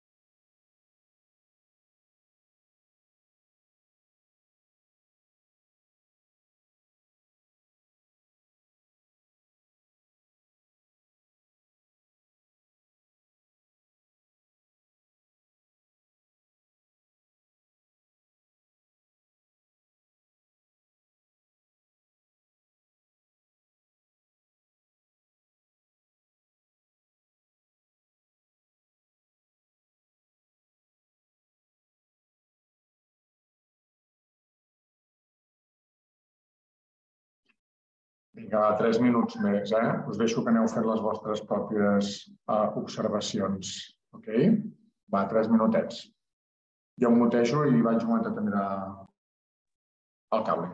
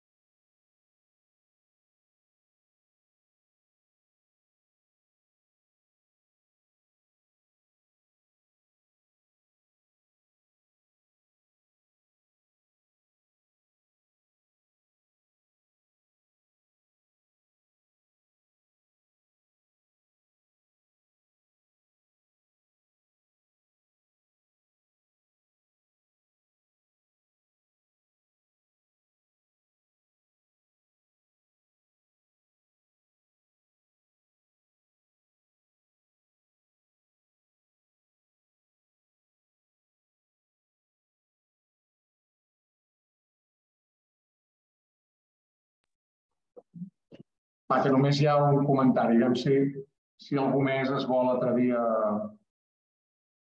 Si algú més es vol atrevir a, a fer algun comentari.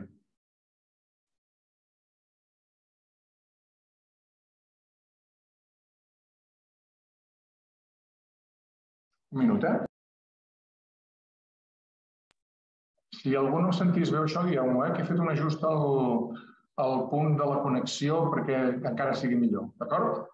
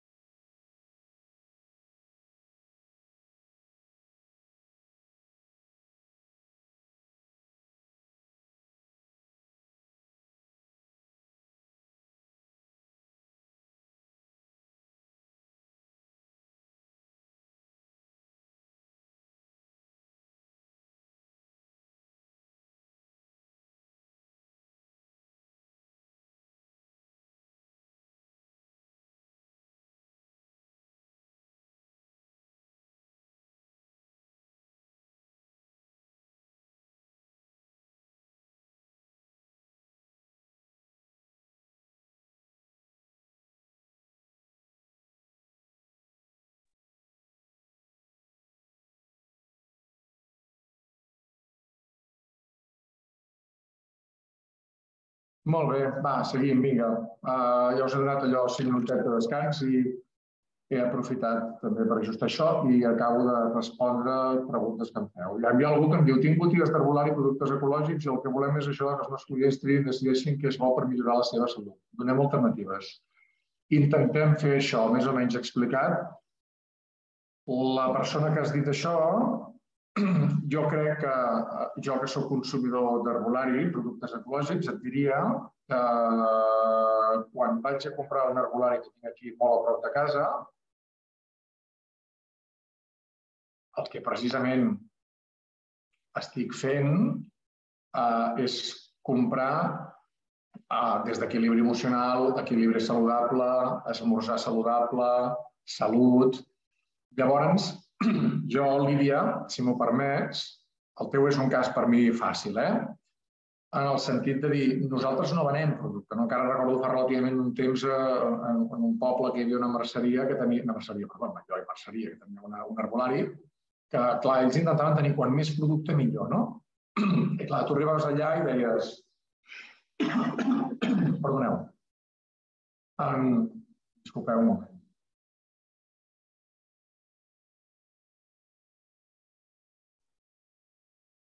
Ja està, perdoneu. Tu arribaves a la botiga i veies que allà hi havia molt producte, no? Molt producte que intentaven, en tenien la idea que quan més producte, més vens, no? Clar, llavors al final dius, escolti, vostè no hi tingui, tenir, intenti tenir més producte perquè de seguida que miro el lineal, poso el dit i veig que hi ha productes que deu, que deu costar que es venguin perquè hi ha molta pols. Diu, no seria millor que vostè treballés la botiga i la categoritzés per solucions, solucions de benestar emocional, solucions de salut esportiva, solucions de, eh, de, de, de relats personals, és a dir, buscar diferents eines i després utilitzin les xarxes socials per explicar aquelles solucions que vostè, que cre, que vostè creu que són possibles solucions eh, perquè la clientela eh, se senti perquè la clientela se senti a gust eh, amb, amb, amb tot plegat, d'acord? És a dir, senti un recurs, senti una eina, senti una solució que la vegi prou interessant com per dir aquesta és la botiga que m'agrada. No? Llavors, Lídia, la, la millor estratègia digital és entendre què és això que estàs venent tu. Salut, sí, però és un punt més enllà, d'acord? És a dir, ves més enllà de la salut, perquè segur que hi ha elements, jo a vegades utilitzo en l'herbolasteria dietètica de, de, de, de salut esportiva, de benestar esportiu, benestar físic, ostres, necessito que les meves articulacions tirin, necessito sentir-me més bé de pell. Hi ha moltes variables. Tots són solucions per les quals la clientela ens acabarà comprant més que no li diguis que tens cinc tipus de silici diferent, un de més bo o més bo. Segurament no els interessa. El que els interessa del silici saber és que amb el silici les ungles i el cabell estan més forts i que això forma part del seu objectiu que és sentir-se més atractiu o atractiva físicament. M'explico una mica, Lídia, i mentre em respon sí o no, tenim una altra companya que diu creus possible que el producte que tu vols vendre pugui fer que el client el vulgui comprar com a necessitat per ell, encara que no ho sigui?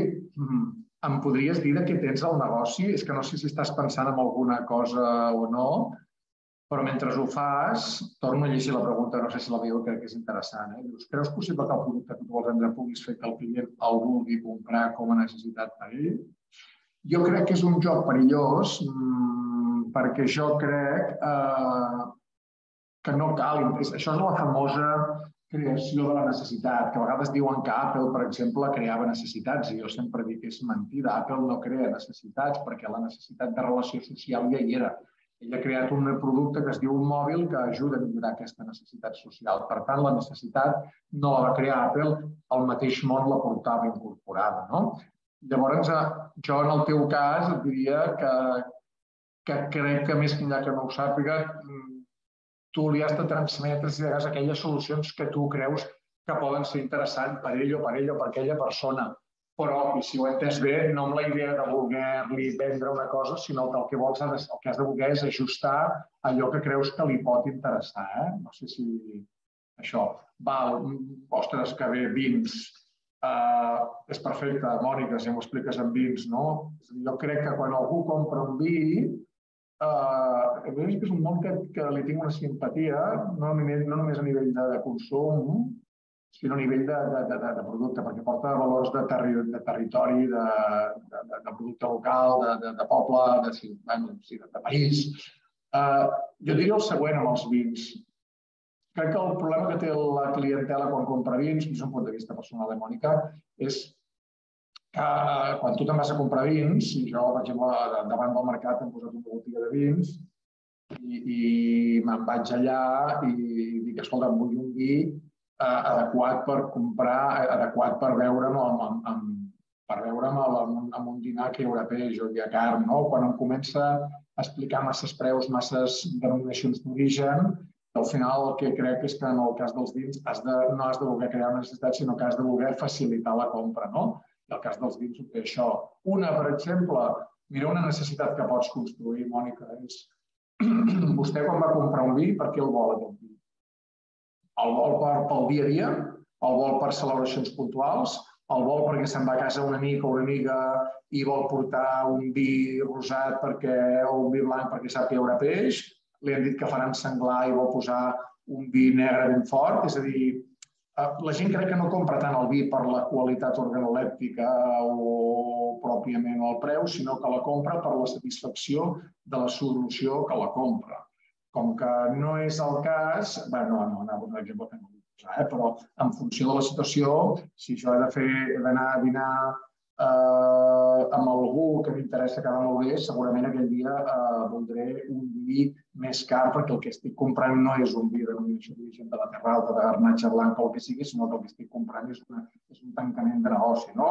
O si soc solter i vull seduir, doncs pot ser que vulgui un vi o un altre. Però en canvi, si vull comprar sis botelles de vi perquè s'acosta a Nadal i vull tenir un xerri a casa, la solució té molt menor valor afegit. No? Llavors, jo, en el cas dels vins, crec que l'estratègia digital ha de ser una generadora de facilitar la compra al consumidor en un camp tan ampli i, i interessant, però al mateix temps complex món del vi. Eh? Mònica, podríem parlar molta estona al respecte, eh? no sé si això. Eh? La Lídia diu la paraula benestar m'agrada molt d'aplicar, eh, molt idònia per a aquest negoci. Jo diria que sí, però jo no et vull transmetre la idea que focalitzis el negoci en el benestar. Eh? Simplement et vinc a dir que un consumidor d'un negoci com el teu probablement no l'atavalis en el silici, en, el la vitamina B, B6, B12, sinó digue-li que la vitamina B6 i B12 tenen un clar benefici eh, saludable per la musculatura, no? o explica-li que el magnesi i el calci tenen aquesta funció. No que tens un calci i un magnesi molt bo que l'ajudarà, perquè no li importa, no li interessa absolutament a res. Et parlo des del meu punt de vista, eh?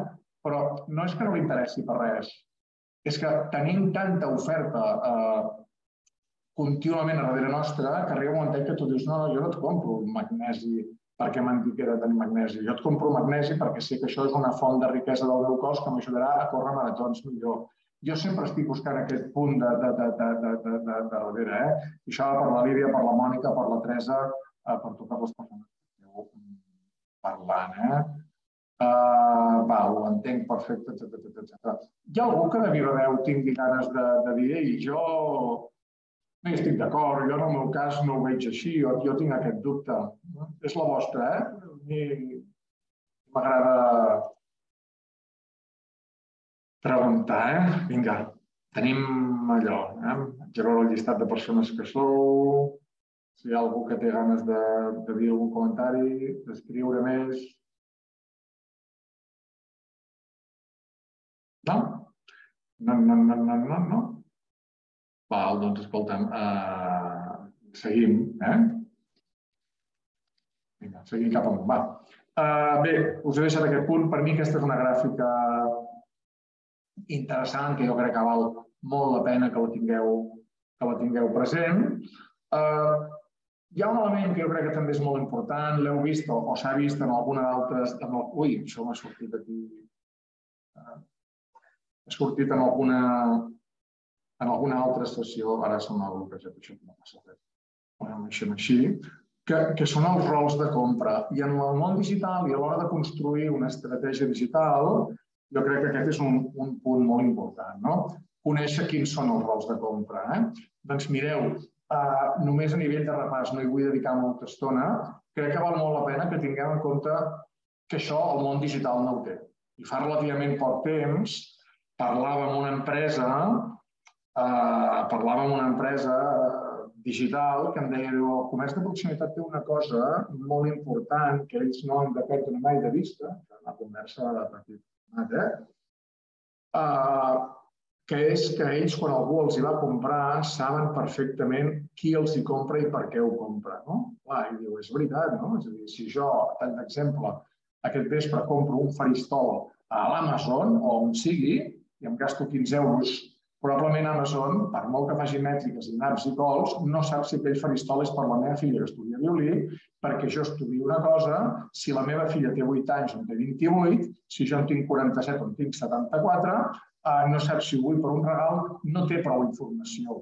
Un venedor, una venedora, un comerç, eh, és capaç, amb el seu contacte, amb la seva relació, amb el seu debat continu amb el consumidor, amb la consumidora, amb el client, amb la clientela, és capaç de saber exactament si el comprador, que és aquesta persona que tenim aquí, també és usuari o no és usuari. Però un venedor d'un comerç, una, una, una botiguera, un botiguer, un comerciant, un empresari, un empresari, una persona empresària, en definitiva, quan algú va comprar, pot saber si aquella persona és usuària, pot saber si és compradora, però també pot saber que la bicicleta que l'Oriol va comprar és l'Oriol és el comprador, que és l'usuari, és el però no és el decisor, perquè sap perfectament que el decisor i és ell i és la seva parella, perquè és un producte que val uns diners, pot saber que algú li ha prescrit, pot saber que algú li ha influenciat, pot saber el què, i pot saber que el millor comprador, tot i en aquell moment ell és el comprador, allà hi ha una altra persona que també decideix, que també és la persona que va comprant aquí. No pretenc que aquestes línies eh, vermelles que surten aquí les pugueu veure. Però sí que pretenc que entenguem que en el món digital, el món digital fet servir per un comerç a través de les eines tecnològiques, ens pot ajudar a construir missatges específics eh, perquè el consumidor eh, se senti més còmode. No? És a dir, si a mi la botiga de bicicletes em diu escolta, mi percep de la meva conversa que vull comentar a casa, és bastant probable que em pugui dir escolta, per què no vens un dia amb la teva parella, us mireu la bicicleta, la proves i us resol dubtes. Allò és molt intel·ligent, perquè automàticament quan jo arribi a casa li digui mira, m'he mirat aquesta bicicleta, m'han dit que si un dia volen que anem, que la comentem i tot això, automàticament la persona que conviu amb mi el dia a dia dirà ostres, i anirem allà i se sentirà complaguda i tindrà més possibilitats de comprar. I això en el món digital ho pots acabar construint un post que diu compra en, compra en família, veniu, proveu, mireu i si us agrada emporteu-vos la millor bicicleta per tu. És tan senzill com això. És absolutament tan senzill. I això a vegades no ho fem perquè ens n'anem massa en, en l'àmbit d'intentar eh, vendre, la, la, vendre la, la, la, la, la bicicleta, d'acord? Eh, mentre, aneu, mentre vaig explicant aquestes petites píndoles, vaig responent preguntes. Val? Hi ha algú també anònim que diu, jo tinc una empresa d'interiorisme, el client, persones que detecten una necessitat per millorar el seu espai, solució, assessorament per utilitzar els recursos, com projectar un espai possible val, Anonymous. Jo ara estic en un procés personal d'interiorisme a casa meva, en una habitació d'estudi. Uh, certament ho està fent també aquesta empresa o aquesta botiga amb tot això que estem treballant, que ara que ja tenim el projecte i ho tenim tot molt definit, ni ens està passant pel cap anar a IKEA a comprar-ho tot nosaltres perquè he sabut entendre molt bé que nosaltres buscàvem una habitació d'estudi per, les, per totes les persones de la unitat familiar a casa, que són dos nenes i dos grans, i ens ha sabut construir un espai que per sobre de tot el que estem fent és que hem comprat un espai d'estudi integral, és a dir, una sala que serà perfecta, Anonymous, m'explico? Perquè aquesta gent saben entendre perfectament com construir un element. Clar, quan jo veig allò i veig que una de les cadires que em venen val 130 i sé que en un altre lloc la puc comprar per 100, ho ha treballat tan bé que ja no tinc necessitat d'anar a buscar aquest estalvi. Però això és perquè he sabut detectar molt bé la necessitat. I això que t'estic explicant jo ho explico tant en l'àmbit digital com el no digital. D'acord? Sí? Uh, Dos, la, la, la Susana diu, nosaltres tenim una joieria multimarca i taller propi. Ens especialitzem en la personalització de joies i les aliances. Personalització és una paraula important. Jo crec que aquí eh, ja ho has dit tu molt bé, jo crec que en aquest sentit està bé. Eh? Compte que si algú veig que no ho diu bé, també ho diré, eh? no tinc cap tipus de, de, de, de problema. D'acord? Per tant, una joieria multimarca i taller propi, Susana, no m'interessen, m'interessa la personalització de les joies. Potser podríem anar un punt més enllà i parlar d'una personalització per regal, d'una especialització per capritx, d'una especialització per... D'acord? Perquè quan jo vaig a comprar alguna petita peça de joieria o bijuteria per la meva dona i busco una cosa molt personalitzada, potser a vegades caldria que l'estoc de productes estés molt focalitzat a, a un concepte que vagi més enllà de la característica tècnica del producte. Per això et parlo de la personalització per regal, la personalització per celebració, la, la, la personalització per capritx, depèn de si, depèn precisament de si el client és l'Oriol que és el comprador i en aquest cas el decisor, o si el producte és per la meva dona, que és la compradora, la usuària, la decisora i fins i tot la pròpia eh, prescriptora. Probablement la influenciadora sigui una amiga. Eh? Però si vaig molt ràpid, eh? eh qualsevol cosa m'ho aneu dient. Eh? La Maribel pregunta, xat no funciona, per quin canal ens comuniquem? Maribel, no funciona, està deshabilitat hi ha un lloc que posa Q&A, que és Question and Answers, i per aquí pots entrar a escriure. D'acord? I un altre noi a l'Ostana que diu tenim botiga online i estem actualitzant. Creus que seria convenient fer-la només orientada als productes de casament? Susana, està gravat això, però malauradament t'hauria de... això és com quan algú va a, a, una entitat financera i diu creu que és un bon moment per comprar accions de la, de, del banc i el gestor amb bon criteri li diu si ho sabigués no estaria aquí perquè hagués estalviat tots, tots els meus estalvis, els hagués posat aquí no, no, no, no t'ho sé dir. Què sí que et sé dir? Que, que si tens una, que un producte de casament, per quan jo ho vaig fer, Susana, té una atribució en compra molt gran. Què vol dir? Que la meva dona i jo ens vam patejar, o bueno, ella i sa germana i jo en algun cap es va patejar totes les botigues de Girona perquè jo tingués un vestit més maco i en el seu cas, com que va, va fer-ho ella amb sa germana, ho van treballar molt i, i es van fer bueno, passades, també van pagar uns diners i es van acabar cobrant un vestit en lloc on millor les van assessorar, perquè aquell és un dia molt bonic, molt personal. Col·locar això en una botiga online, Susana, jo tinc els dubtes que m'obliguen a dir-te eh, que jo m'atreviria a dir que no. Mm, I aquí, clar, necessitaria conèixer molt més el teu negoci i veure el que o no per atrevir-me a construir-te una estratègia. Però compta amb l'atribució en compra i la implicació que té un consumidor. És a dir, no és el mateix comprar un faristol de 15-20 euros que comprar un vestit de núvia de, de 1.500 o 2.500. Eh? No sé si amb això et responc i, i et tiro la casa enrere, eh? però allò.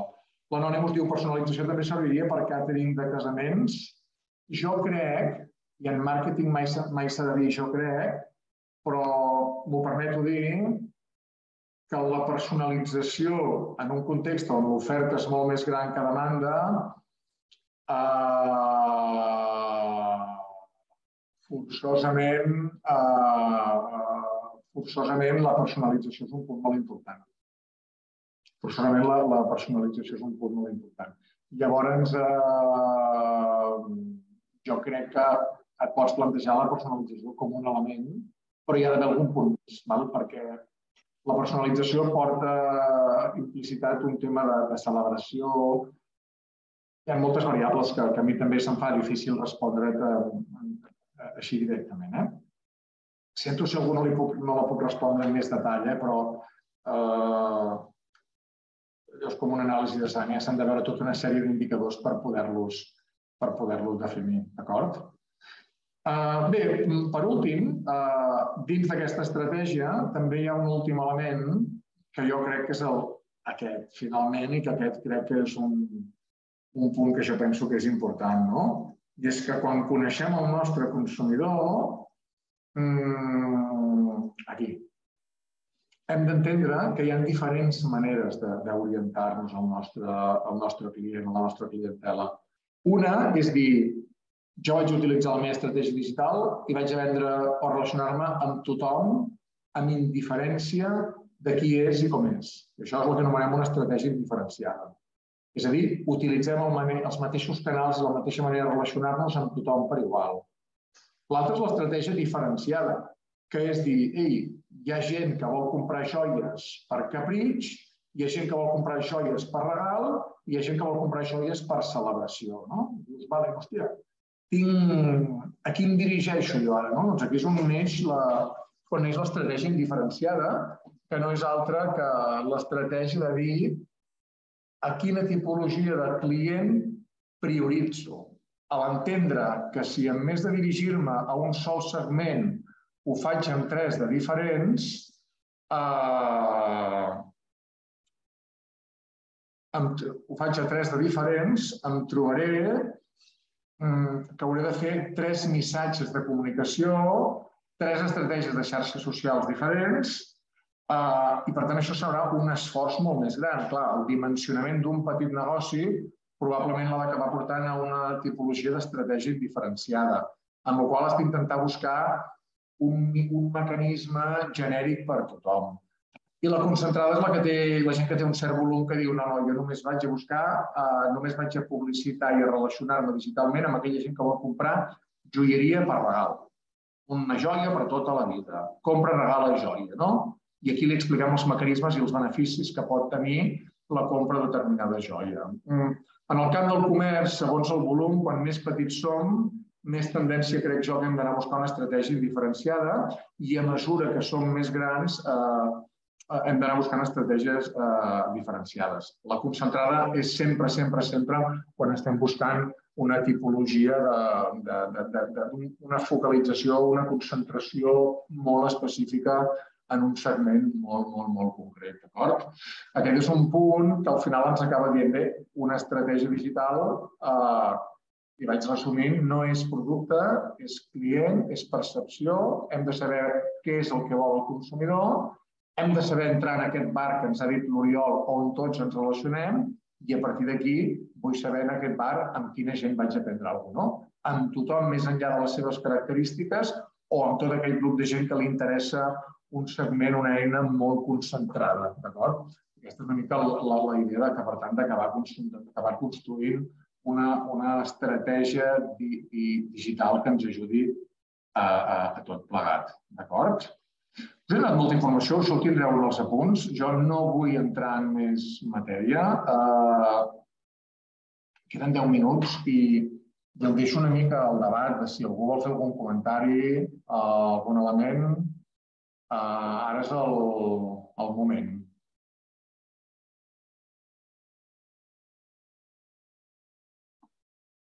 Us dono un moment per si algú vol comentar. Aviam si hi ha algun comentari més. Tenim persones amb la mà aixecada. Uh, la Marta Moya, he vist que has aixecat la mà, Marta. No sé si tu volies comentar algun comentari o no, ara és el moment, eh? Si no, miro aquí si hi ha algú més que vulgui fer algun comentari.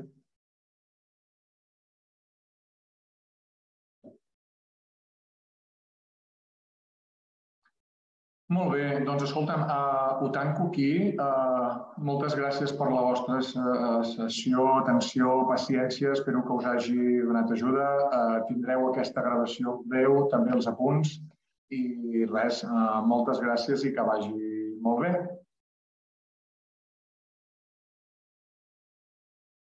I acabo dient a la Maite que em pregunta comerç petit enfocat a un segment, probablement en funció del, del volum, sí, a un segment.